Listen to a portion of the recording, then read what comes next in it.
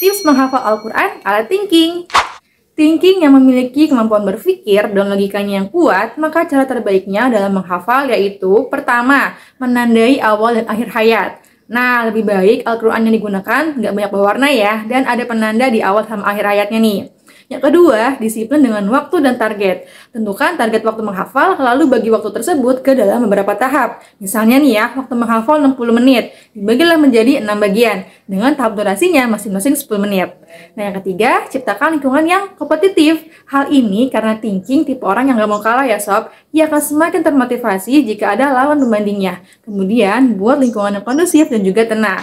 Nah itu dia ya sob, selengkapnya kau bisa tonton di link video ini ya untuk ramalan produktif ala thinking.